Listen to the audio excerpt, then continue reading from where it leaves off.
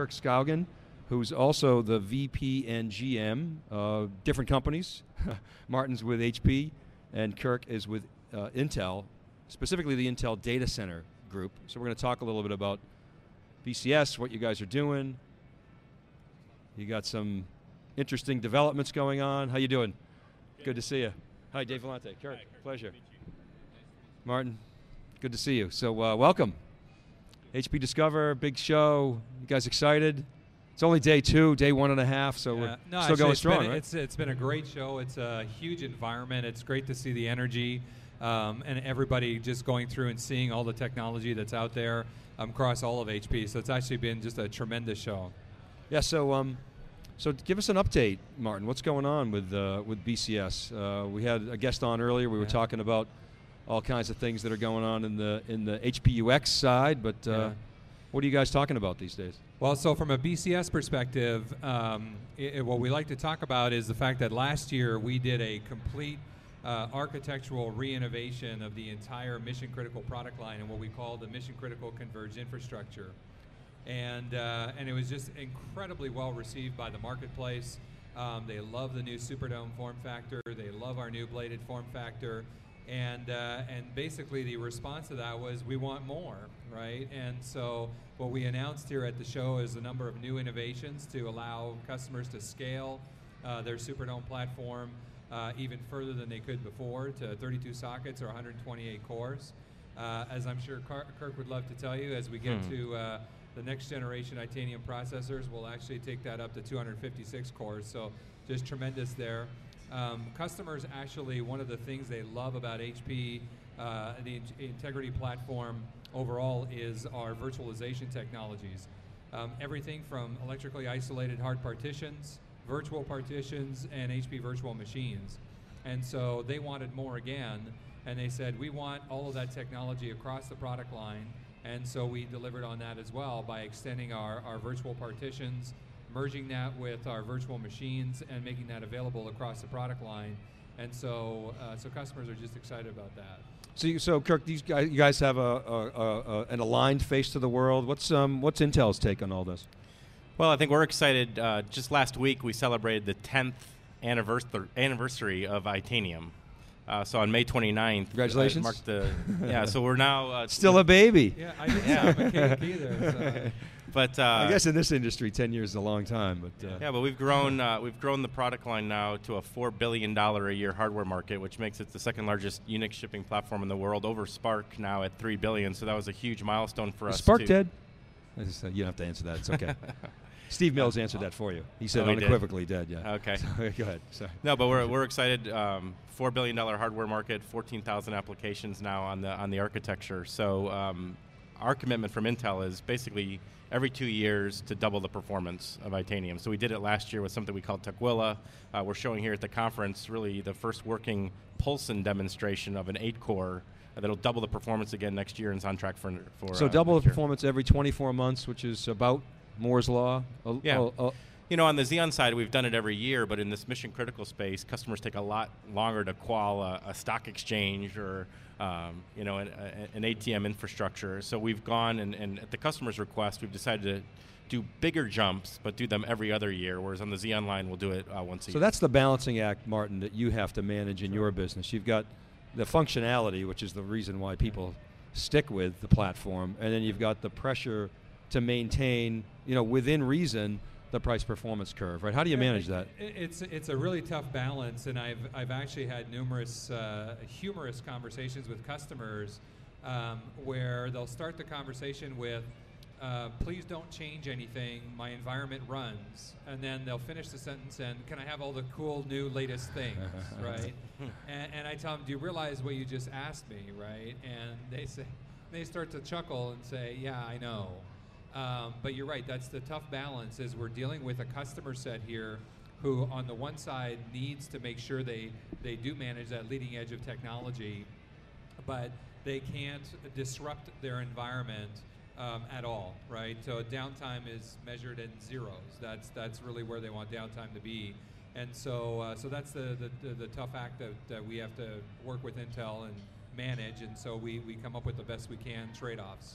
Yeah, so I, I, if you knew this. I used to run a bunch of businesses at IDC, and I was there, and um, nobody wanted the mainframe business. And I said, I'll take it.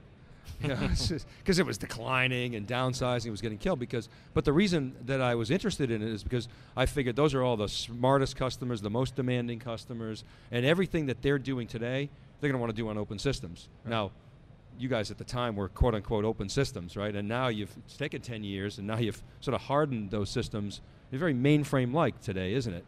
Well, um, we like to believe that uh, we deliver that mainframe class performance, resiliency, and uh, and but at a much much more cost-effective price point, right? So from a total cost of ownership perspective, allow customers to move off of mainframes and get all of the benefits of a uh, the resiliency of a mainframe, but at a price point of open systems. Absolutely. So, how do you how do you deal, Martin, with the whole ISV thing? Right? I mean, you know, ISVs are, are all about optimizing their their revenues, and they play games with licensing. Oh, we're going to do it by cores or you know whatever it is. Oh, virtual systems, great. We'll take advantage of that.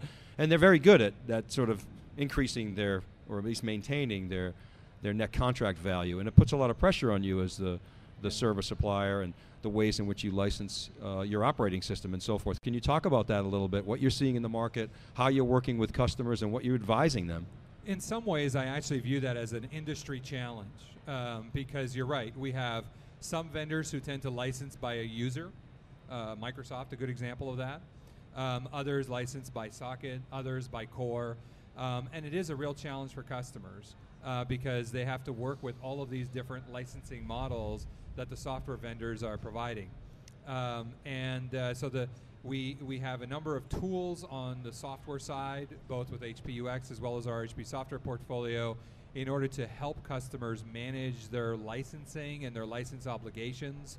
Um, because part of the challenge that customers have beyond just the cost of it is compliance and being and, and manage the compliance that they have in the rules and regulations, the reg- regulatory bodies, uh, and make sure that they, they remain in compliance. So there's no sort of one easy cookie cutter answer uh, because different ISVs have chosen to apply different business models and how they they, they deliver their software. Others do it through subscriptions, through usage, and you know the it's an area where vendors have chosen to innovate in their business models, and you don't really want to stop that innovation. But at the same time, it is a real customer challenge to say, how do I leverage that innovation, maintain compliance, um, and understand what my licensing obligations and costs are? Yeah, so it's a tricky balancing act. So I wonder yeah. if we could um, switch gears a little bit, talk about the strategy, and vision, Martin, from your perspective, and then Kirk, how, how Intel sees that and fits into and aligns with that. Sure.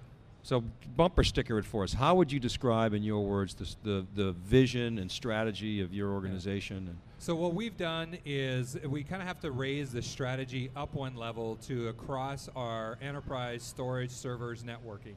And so the top level vision and strategy is what we call the converged infrastructure and basically bringing together server, storage, networking through to a common modular architecture. Then, when you bring it down to the BCS level, we say, well, our job is to take that converged infrastructure and deliver not just a converged infrastructure, but what we call the mission critical converged infrastructure. So, we essentially combine all of the servers, the storage, the networking with the special secret sauce of firmware, operating system, um, and things like that in order to deliver a true mission critical environment. And Itanium uh, from Intel is a big part of delivering on that vision. Yeah, for us, I think uh, I can sum it up in one word, and that's choice. At the end of the day, we think choice drives competition. And when Intel entered uh, delivering server chips back in the late 80s, the average price of a server was $58,000. Today, it's less than $3,800. And, you know, um, you know what we're trying to do is deliver the most mission critical choice out there. So whether you're an HPUX, OpenVMS, and nonstop customer uh, on Itanium, uh, HP is obviously our largest customer, but customers do have choice. They have Bull, Hitachi, NEC, Inspur, Huawei, and others they can choose Itanium uh, hardware from. Uh, and that gives customers uh, confidence. On, on the Xeon side, if you're Windows um, or Linux, you know HP scaling up the ProLiant line I- as well.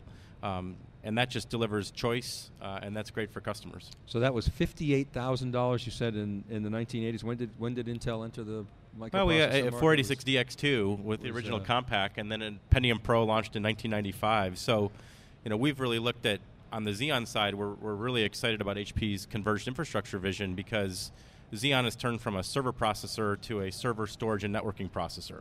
Right. So uh, we'll now be in about 80% of the world's storage, uh, a large part of 3PAR, for example, uh, et cetera, at HP, and now we're moving into switching and routing as well. So the the fundamentals that drove Compaq and HP over the last couple decades to drive that cost out of servers, we see extending into storage and then into networking. You know what amazes me today, which is why we're so excited about what we're doing on Itanium, is still two percent of the world's servers that are on Power and SPARC and on mainframe make up fifteen billion dollars IT spend.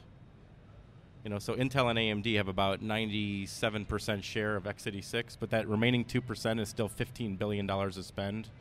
Our job's to basically deliver the best performance, best reliability, but at dramatically lower costs with companies like HP. Yeah, that's a pretty astounding metric. It said 58,000 down to 3,500, I think was the average price. Yeah. What do you think would happen to oil companies if their price of their product Yeah. dropped that much? Uh, We, we live in an amazing industry, gentlemen. Yeah, It's uh, do.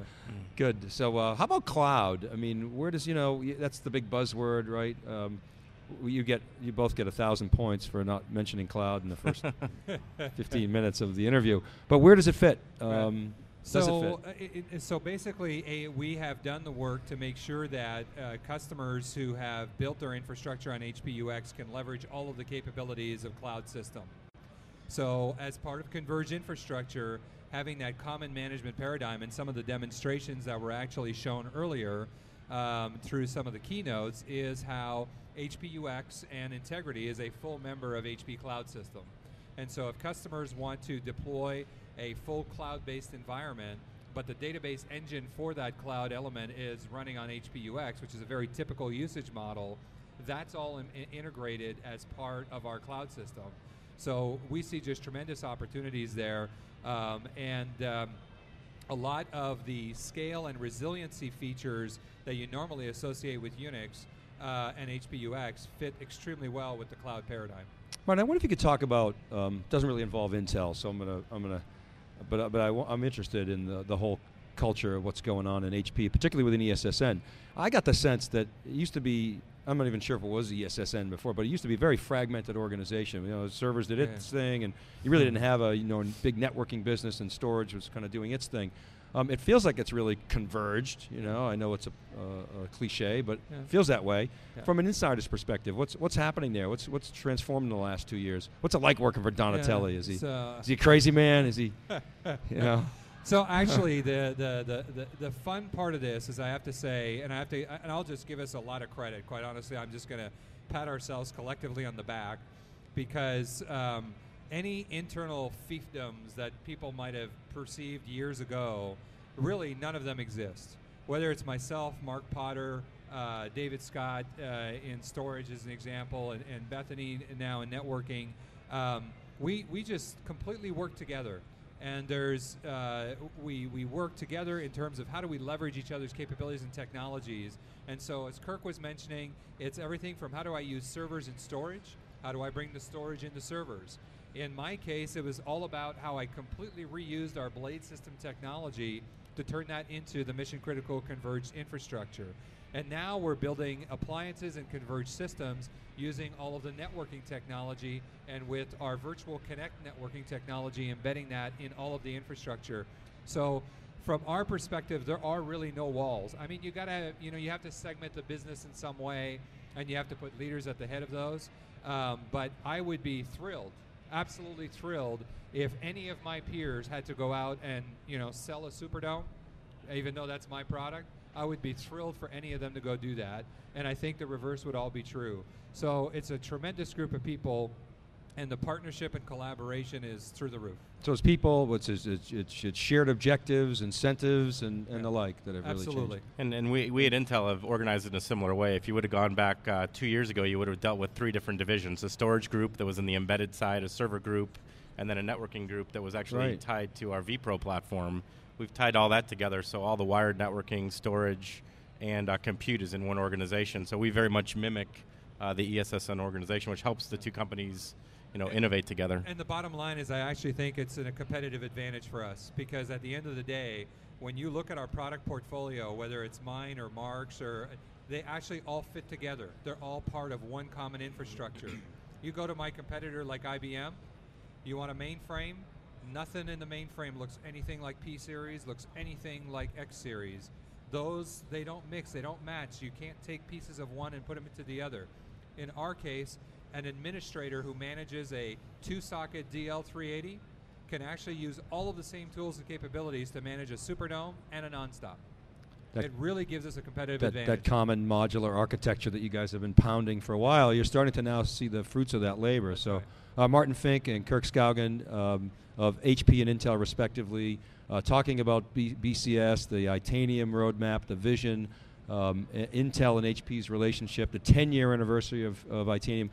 Good luck with it. Um, you're fighting a great fight in the marketplace, and uh, it's, it's wonderful to watch. Thanks for coming inside the cube and sharing all your knowledge with us. Thank, Thank you so you. much. Appreciate it. All right, this is.